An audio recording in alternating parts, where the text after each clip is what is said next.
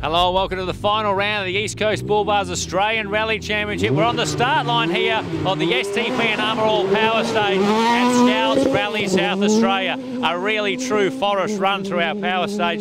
Molly Taylor, she's chasing Eli Evans and Glenn Weston. They're 31 points in the lead and this is our finale. It's all on the line and here's a good place to make up some points. Five points for the winner of this stage. Four-wheel drives, of course, will run in this power stage as well. Mick Patton and Marcus Walkham, they'll be battling it out this weekend. We we actually do start some forest stages this afternoon, so plenty of rally action coming your way this weekend.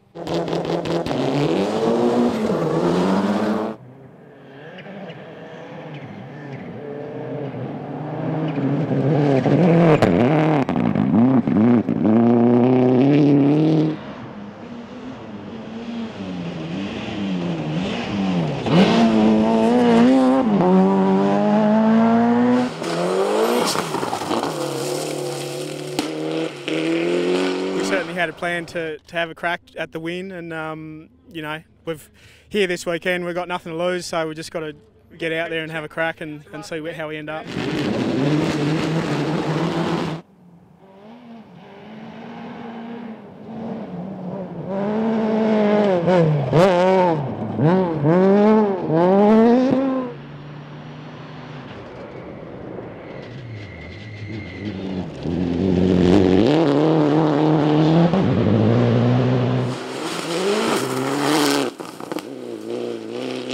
first corner, I obviously talk to you every every power stage, get way too excited and missed the apex of the first corner, went wide, and Glenn had a little bit of a laugh, and I, I said, sorry, mate, and we're going to have to make it up from here, and we just went flat out, and we got every other corner perfect, so I couldn't have done a better run, really, and um, look, I was speaking to Simon uh, after testing on Wednesday, and he just said, "How you going?" And I said, "Yeah, car feels good." And he said, "Do me a favour, make sure you win that power stage." And it's an Evans clean sweep for the year. Oh, and he go. goes, "I haven't got you back on this one." I said, "I promise you this." So here you go, Simon. I did it.